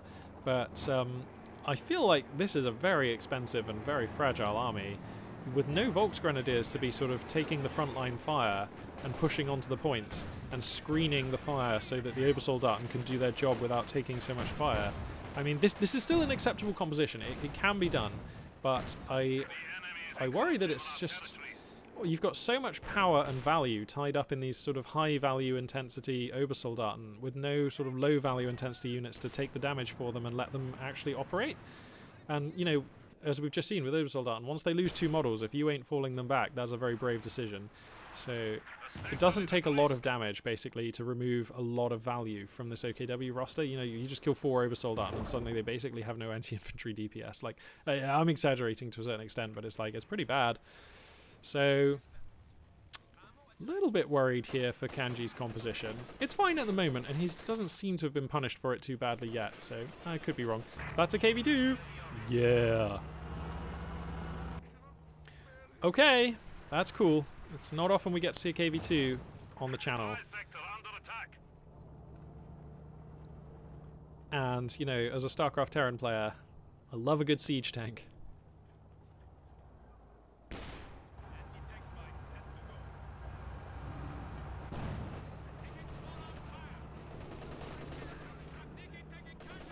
So, I mean, the obvious place to commit the KV-2 is into mid. That is where the lion's share of the fighting has been taking place. And that is where its power and range can probably be best exploited. Hello, Obersoldaten. How did that do no damage? That for sure looked like one of the OKW uh, Obersoldaten models was like within the blast radius. Whoa, the KV-2 coming way too far out. What are we doing here? Oh my god, this is a... What are we doing? This is not how you KV-2. It just comes straight to the very front and then starts rotating, which is its slowest, most awkward action and way of being used. The Stuka support gets used here from the Overwatch Doctrine. The KV-2 gets spanked a little bit by a Panzer IV and a Raketenwerfer and has to slink away on pixels of health. Now the air support is still active, but with no line of sight. I believe the KV-2 ought to be safe, but that is not how we KV-2. We usually want to put the KV-2 behind units that it can support. If the KV-2 is too close to the front, then its turret's very slow rotation rate and the very slow rotation rate of the actual tank itself are very exploitable. Combined with its low rate of fire, that actually means that it, it is not best suited to be actually at the very front of your army against the fog of war. It wants to be just behind that, taking sweet shots, a little bit like an ISU 152. Um, you don't have to use it in siege mode. That is not mandatory. I'm not advocating that necessarily, although obviously siege mode is useful and has a place. Um, but I am just saying, when your KV2 first comes onto the battlefield, don't just drive it straight into the fog of war and start rubbing it up against all of your opponent's units. I, possibly that was a bad rally. I don't know. These things happen. Uh, and, you know, at least he survives with K the KV2 intact. So we're going to get to see some more KV2. But, I mean, that was a little bit close. That was a little bit... That was, a, that was some sweaty times there for Hans Chicken.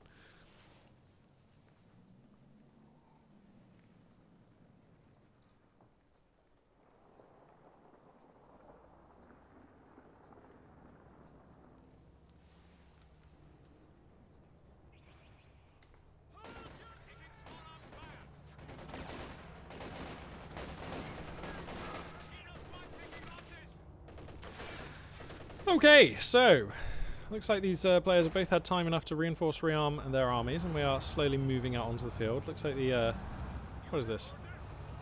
Ambush tactics. That's what it's called here. on these light AT guns, going to be being pretty useful to sneak them into position. Quite clustered positioning here, but not going to be punished. Just really one light gun for indirect fire support and splash damage. Um, but this is some clustered units. You wouldn't be doing this if your opponent had a... That is also a lot of clustered value. Jeez. That was a warning shot. If that one had hit, that would have been a lot of value onto that KV-2. Oosh. Yeah. This is why we love KV2s, man. We're just going to start sieging you down. You want to fight? you got to fight into this. Finding value. What is it about Soviet units that just chuck huge shells into their opponent? It just makes me smile so hard. You know what? It's not even Soviet units. I'm not discriminatory, okay? I smile this hard at Storm Tigers all the time. Well, anytime Storm Tiger is out, which is like nearly none of the time. But, you know, Okay, so KV2 going to come forwards here. Wants to track onto this Panzer IV, apparently. Does cast a shell in. Finding some damage, even, so that's not bad. Um, I'm always a bit... Whoa, he's going to push in with the KV2. Jesus, mate, you're fearless with this thing. It is not a very mobile unit. I just feel really skeptical about using it in this way. So I think he knows where the Panzer IV is. Oh, I thought he might attack ground around there. Nope, seemingly not. Of pull back for a second here. Oosh, putting massive damage onto those Jaegerlights. And we are coming up to the first star veterancy for the KV2, which gives it uh, the Inspire Veteran ability. Alright, what does this do? 25 munitions, gives you nearby infantry move at maximum speed and fire more quickly. Interesting. I wonder what the definition of nearby is. If it's like a screen radius, so like, you know, if, if, if, it, if it would affect all infantry, like say on this screen, that could be pretty useful. 25 munitions, relatively cheap, because of course the ability is localized around the KV2. So this is not an ability I've seen used very much, if ever. So I'm mm, kind of curious about how it, what the exact kind of, how strong the buff is and uh, and what's good. Speaking of what's good, Panther is a pretty sweet choice on this battlefield, actually the light AT guns will not really be able to threaten that Panther. And I feel like we're kind of at the stage in the game now where I would not mind a support armor Kampaneya coming down. Maxims are looking more and more valuable the longer this game goes on, and you cannot really be relying on these M42 AT guns. Uh, sorry, I mean these M42 AT guns to provide AT against. I mean, even the Panzer IV is kind of too much for them, and the Panther is just like, you can really forget about that. Unless something really bad happens to the Panther, those light AT guns are not going to be killing it. So, alright. KV2 here. Looks like the Panther trying to draw the KV2 out into the two Raketenwerfers. That it will. So the Raketenwerfer's going to, wow, get a bounce there. That's a Katyusha. Sorry, I forgot to mention that.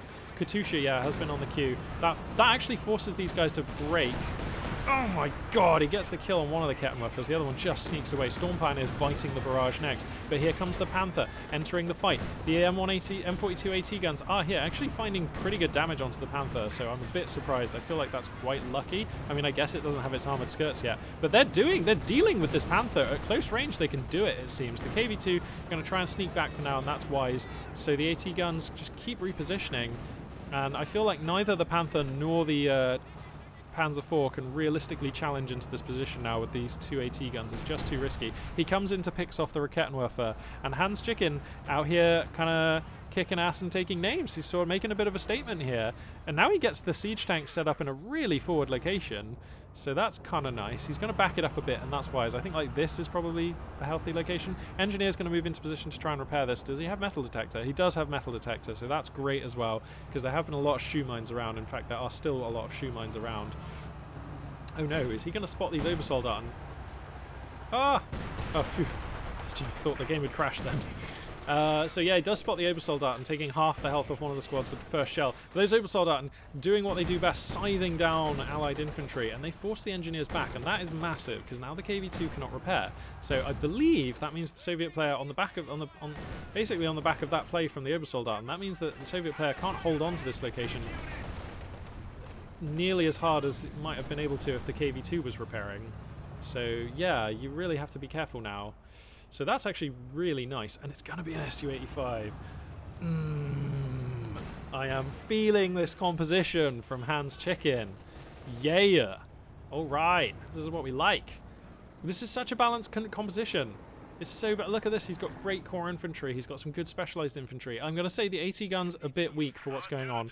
I would love to see him back tech into support armor core uh, Kampaneya. Uh, support armor? Um, sorry, support weapon Kampaneya. Um, because I think access to Maxim guns is huge, and I think that having Zis guns now is just.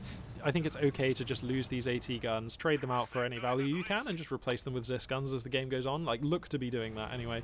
Um, although, having said that, with the SU-85, maybe you don't need the Zis guns maybe it's okay just to have the two light AT guns supporting the SU-85 and that's fine.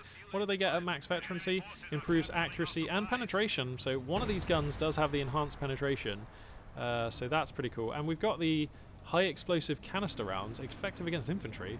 When did the M42 get these bad boys? I did not know that that was a button that they had. Hmm. Okay, well that's exciting. Okay, Panther here, taking a bit of a dive, comes forward. Gonna copper shell off the KV-2 as my mouse has another malfunction, taking substantial damage. So clearly once these AT guns get to 3-star veterancy, they are a threat for the Panther. And now we've got a Jagdpanzer, and I feel like we often get it on this map where, ooh, the health on this uh, Schwerpanzer HQ is low. But I feel like we often get it on this map where the players, it does come down to a tank hunter face-off. And SU-85 versus Jagdi is my kind of game.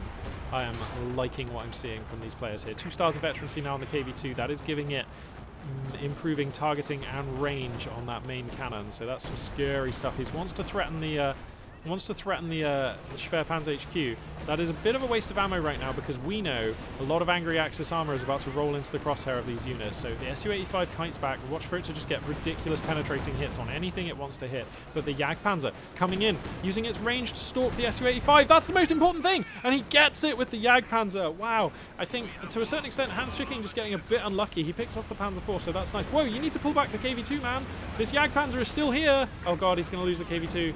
How does that round bounce? He gets so lucky, but this is still a dead KV-2. This is way too much AT resources. And uh, with the Stuka strike coming in, these exchanges heavily favouring the Axis player now. You'll trade a Panzer IV for an Su-85 and a KV-2 any day. And now Axis infantry breaking through. Obersoldaten, Storm Pioneers, Jaeger Lights plying their deadly trade. The M42 AT guns getting picked down. And Penal Battalion are not enough to stem the tide here. Now, where's the Katyusha? It's in a relatively safe position for now. So, okay, no danger to the Katyusha for now.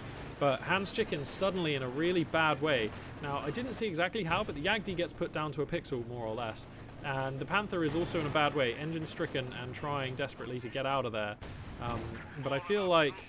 Okay, so another KV-2... Oh, of course, the 180 second cooldown only begins once the KV-2 dies, because of course that's how heavy tank call-ins work in this game now. Cool. All right, nice. So Hans Chicken has some fuel and will have some manpower if he's able to save up to spend that fuel. The question is, are we going for another Su-85 straight away, or are we going to try and hold out for the uh, KV-2 in 115 seconds? Well, I feel like you need the Su-85 to not die at this point. Um, one M42 AT gun, he did lose the veteran one, so this one really not much of a threat to a Panther. Um, so I feel like he needs the Su-85 to not die. I think that's got to be the, the line here.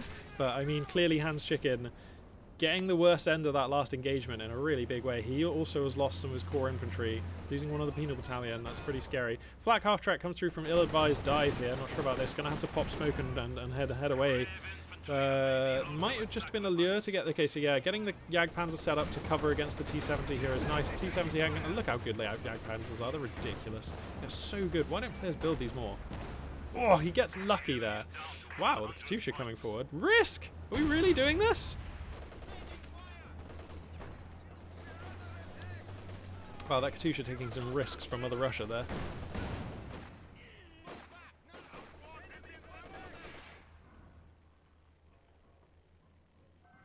And all the Axis armor survives.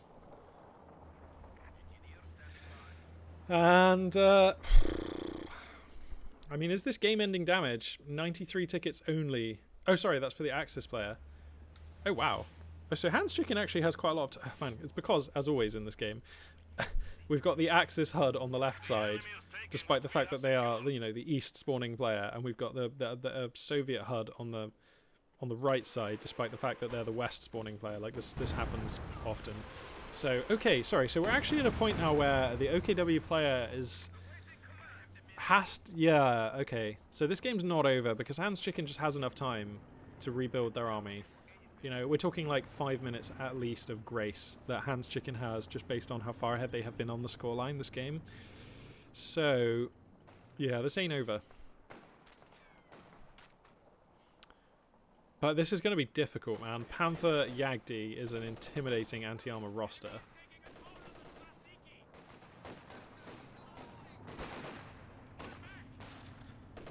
But, I mean, Hans Chicken has to rebuild so much. Um, has to has to get something to deal with these armored units. Probably an Su-85 is like the most sort of encapsulate. Pardon me, encapsulating solution for that. And now, uh, wow, shock troops actually get up on top of these Axis infantry and are going to defend a VP. That's material. That's nice. Um, but yeah, so you need something to answer the Axis armor and you need to bolster this infantry roster because this will not be enough to make a meaningful play for the for the victory points. Um, especially if Kanji is super smart and buys a second MG34 as this game goes on, hopefully soon. Um, or if does he have mechanized? He does have mechanized regiment HQ going down. Oh, he lost the Schwer Panzer HQ. Okay, but this is cool because a Panzerwerfer is the other acceptable add-on to this army that makes it very difficult for the Soviet player to challenge for VP control, which clearly is what this game's going to be about. For, for a, a, Soviet win from here basically has to be VP related. I don't think you're going to win by crushing the army. So, still has the Katyusha. He gets the Storm Pioneers. Oh. oh, just when Kanji felt like things were kind of all going their way, lucky Katyusha spread there the first four rockets, I think it was, just give the Storm Pioneers. And, like, you, you have to rebuy those, because now you cannot repair your tanks. That kind of sucks. You have to rebuy those. Uh, Panther gets uh, falls foul of some mines right in front of a uh, AT gun here.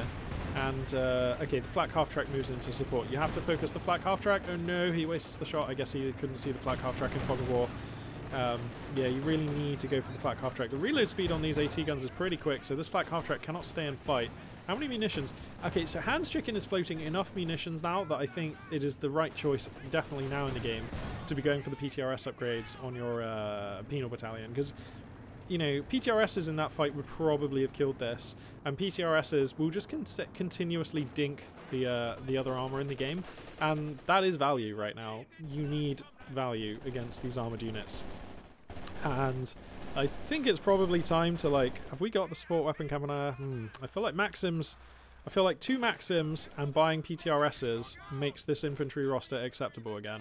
Like, with those tools, you can realistically play for VP, VP control. But speaking of tools, it's going to be a KV-2 once again. But this KV-2 coming onto a much more sort of tough battlefield than its predecessor. Because we're coming in now to a one-star Yagdi and a two-star Panther. And that's tough. That is really tough. KV2s are reasonable, but they are slow, and they don't really they don't really perform spectacularly against um, uh, vehicles. Like they are okay, they can contribute to vehicles, but they're not like they ain't they ain't vehicle slayers really. Okay, actually, there's a wounded Jagdpanzer up here. Is he going to go for that? If he gets behind it with the KV with the mt 70 Wow, he really wants this Jagdpanzer. If he can pick this up, this is so risky, but he's going for it. If he can just get the K the T-70 around behind it, it's dead. I don't. Why is he not diving with the K-70? Wow, he gets the Yagdi. This game just keeps swinging. He gets a bit lucky there. I feel like that's just a bit lucky picking up that Yagdi. I didn't see how the Yagdi got its engine broken. I have to assume it was mines. And now Soviet forces are gonna re-establish the cap, re-establish the bleed, and 55 is not a large number of tickets before victory is established. So this game actually swinging right back. With the demise of the Jagdpanzer, that means the KV-2 can just like dictate control over the midline of the map, and that means that the victory point victory scenario is totally achievable again for Hans Chicken. Okay, so the Panther finally finds the KV-2. If he can kill this... Okay, here comes the Stuka. He basically has to kill this now. That's a Soviet Kettenwerfer. Oh no, yeah, he's going to get it. Man, Hans Chicken has just been consi consistently like out there with the micro on these KV-2s. Like, sometimes been great, sometimes just been way too ambitious. That's a demo charge. okay. Five-star Obersoldaten squad as well, by the way. That's scary. They're just they're just ripping ripping out, ripping these infantry apart. Oh god, is that even going to be a fullback? Okay, yeah, he gets out of there. Five-star Obersoldaten about as nasty as it gets. Uh, this game just keeps on swinging. Is the is the Katyusha ready? It is ready. I reckon we we definitely take the shot. It's too late now. He's already captured it. I feel like that was a shot to have taken just to deny the cap on that point. Just eke out, like that would have been four or five more victory points, maybe more, and a chance at wiping the Obersoldaten. I think we take that every day. Obersoldaten laying a booby trap, getting a little bit sneaky out here. I like it. I like it. Alright, the booby trap is established. That is a wounded ass T7 to be t t a wounded ass T70 to be leading the charge here. Of course, he does have the uh, veterancy and the observer mode is on, so that is providing gratuitous amounts of light of sight, line of sight there for Hans Chicken. Katyusha comes forward, takes a barrage into a very exposed MG34. The fallback is a bit late, allowing additional barrages to start hitting, and it would be unlikely at this range that they'll survive yet. So nicely coming forward there to get the accurate barrage. Gonna nuke one of your opponent's most valuable squads for controlling your access onto those VPs. So that is a super relevant squad to have, uh, you know, destroyed with the with the uh, Katyusha. So that's that's nice. These two players just dealing blows. And you know what? We're kind of actually at like okay manpower income. These armies are like not huge again at 42 minutes nearly in this game. T70 feels plucky, wants a piece of the five-star flak half-track. That was a big boom. Oh, was that the... Uh, I think that was the booby trap going off? Dude, Hans Chicken is stacking 600 manpower. It's okay to start using booby traps, man.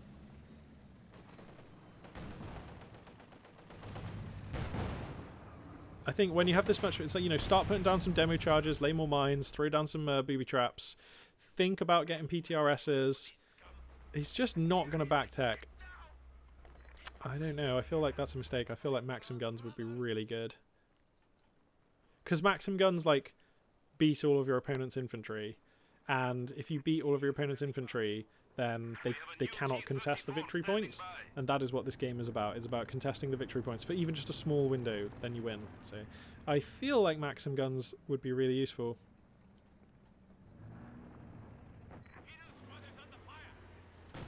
Doing a really good job of policing territory at the moment is uh, Kanji. This flak half track has killed a lot of Soviets. How, so what do we get on this? We get cheap smoke, we get uh, better aiming, we get better maneuverability, we get better accuracy and rate of fire, yikes, and we get better penetration and range, Jesus. So that half track is now quite the intimidating. That's a KT, yep, cool. So, I mean, yeah, he did throw down the mechanized reg that we all saw. Uh, we're building T-34s into KTs and Panthers. What is this tank doing here? Why? Wh when was this ever going to be a good choice? Oh no, I, I don't like this. This is never going to be able to do anything. Oh man, I feel like you had to save that fuel and try and, or save that manpower and put it into an Su-85. Because at least that can deal with this stuff, whereas a T-34 is like, it's just never going to do it. Never going to do it. And I don't feel like you're really struggling to deal with the Axis infantry here. The problem is the armor.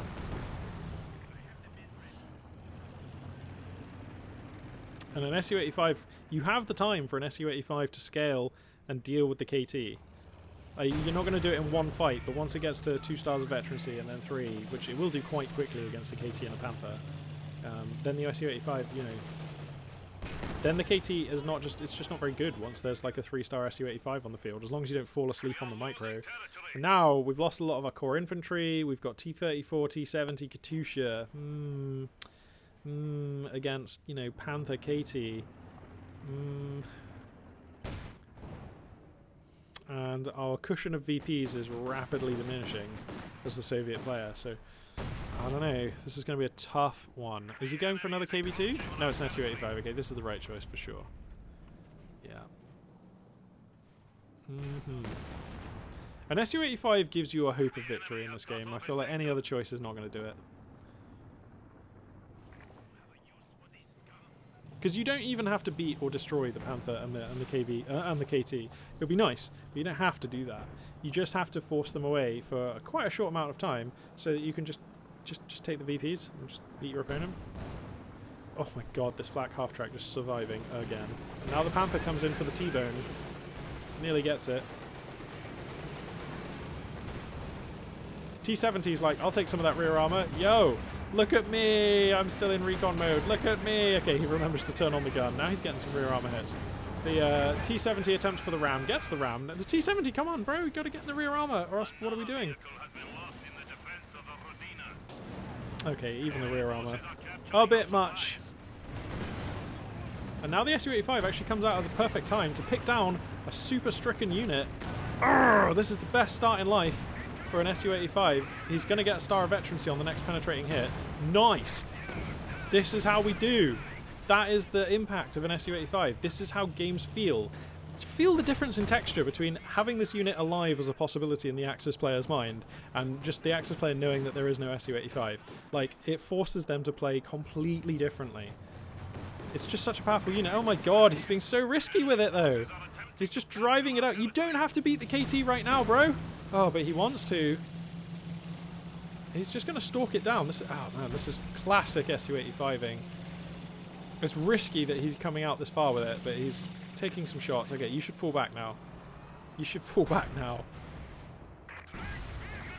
I suppose, alright, yeah, sorry. I forgot he saw that and he knows he can just take that, but now you need to get out. This Su-85 is your last and best final hope in this game. Cannot, cannot lose this unit, please. Nice. It's okay, as long as there is something in front of and around the Su-85, just so that Axis armor and Axis units cannot sneak into his flanks. Although, actually, now I think about it, the, only unit that can kill the Su-85 is the King Tiger. It, like, nothing else can actually meaningfully touch this unit. He's almost got two stars of veterancy, man. This is what I mean. When you have a target-rich environment for an Su-85, it will vet up very rapidly. It, we're talking like six penetrating hits, maybe seven to get it to Vet 2. And that's material, because Vet 2 is when it gets the rate of fire. Sorry, I take it back. Vet 2 is when it gets the penetration and accuracy. Then Vet 3 is the rate of fire. But I mean, Vet 2 and 3, they are both massive damage multipliers for that unit. And it is relatively, you know, we've just seen, it gets there quick. If you are taking the right shots into the right units, it does not take very long for the Su-85 to achieve the... Look, it's already 2-star. Now these hits are real stingers. Even the frontal armor on the KT, not really going to be bouncing many shots from this Su-85, even at decent range. And that's that's how it feels when the Su-85's out. So what are we doing here? We're moving it into south, where it has no support and is just driving into fog of war. And we're not using recon mode, so this is risky. I mean, there just could be mines out here or anything, bro. This is your only thing that you've got going on. Now he turns it around! What are we doing? This is not how you micro an Su-85. It's imagine a line. That's the best way of using tank destroyers and vehicles that don't have a turret. You have to just move them forwards and backwards along a certain line. You don't want to be turning them to move the direction they want to go. They just want to come in, then push out, and then come in, and then push out. You know, it's okay to change which line they're moving on, but just keep them oriented correctly. I don't know. It's easy for me to criticize. I'm just up here being my observer, seeing all the stuff, saying, why aren't these players doing the right things? It's like, well, because they're doing like 50 other things at once. Not to mention that they've got like 48 minutes, at least 48 minutes of fatigue. Because, you know, concentrating this hard for 48 minutes is difficult. Mistakes start creeping in. No one's perfect, we're all humans.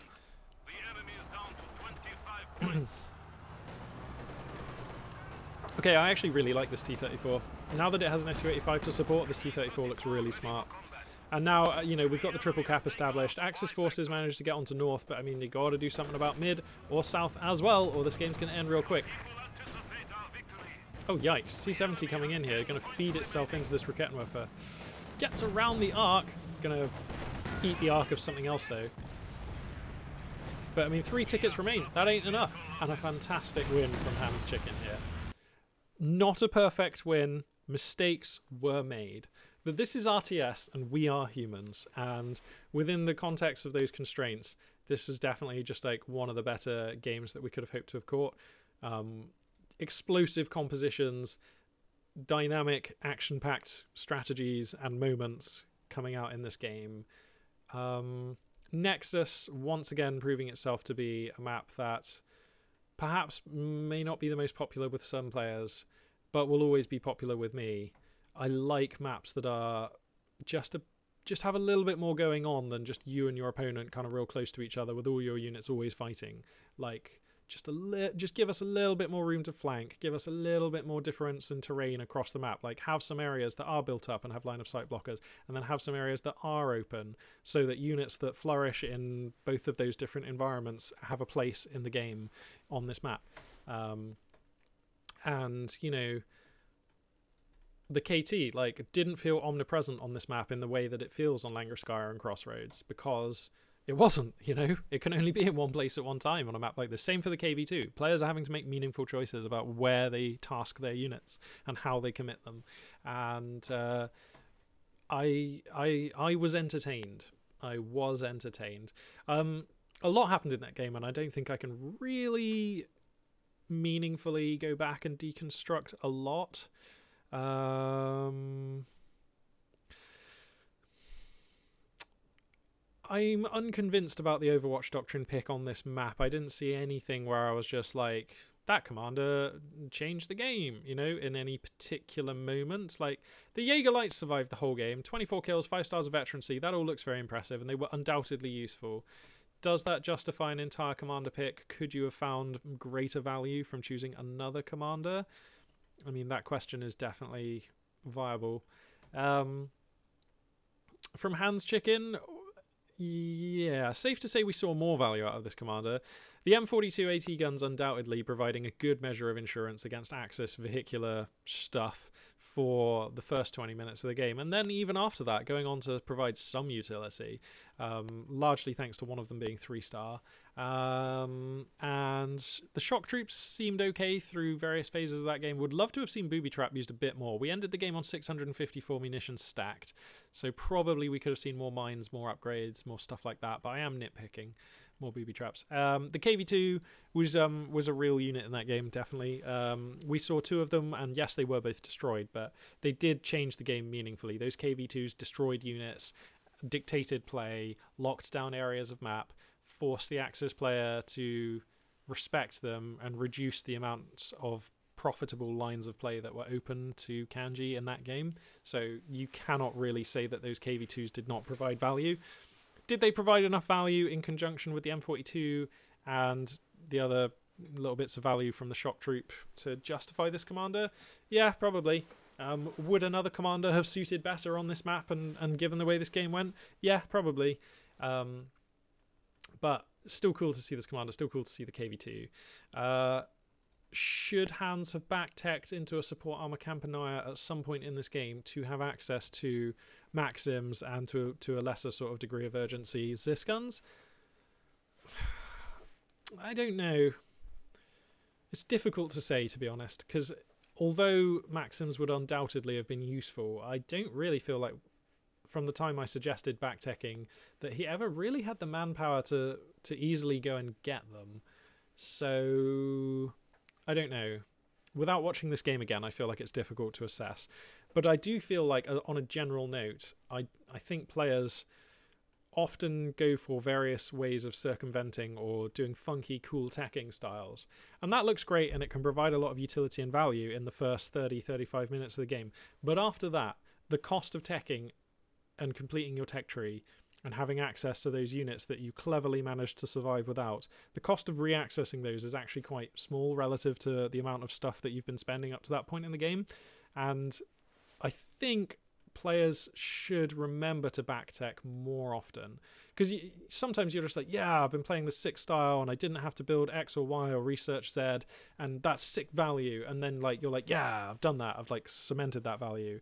And then in the late game when you're really struggling it it doesn't feel intuitive and it can feel bad even to like back tech and go and get those things but from the top tier players that is what i see more consistently is they are like you know what this game's gone on for like 38 minutes it's probably going to go on for another 10 or 20 this is a game that's going to be easier for me to win if I just go and build the pretty inexpensive tech building in my base and just get out a X or Y unit that I need to do the thing that's helping on the map. In this case, it would have been Maxims controlling ground. Um, so, like I say, in the, in the context of this sample of one game, not sure if that's an applicable criticism, to be honest. But generally, I would say players out there do remember to back tech. Oftentimes, I think people just get set in the mindset that they've teched a certain way and that's that done, and then the teching phase of the game is open and they're just playing with the bits that they have access to. But it's like, no, you can go and back tech, and I think there is value left unmined by players who are not doing it as often as they should. Just a general observation. Um, all right, cool. Right, well, two two really entertaining games cast there. What a pleasure to cast. Thank you very much for spending your time with the Magpie today. And uh, yeah, this for now. Magpie 842 uh, signing out.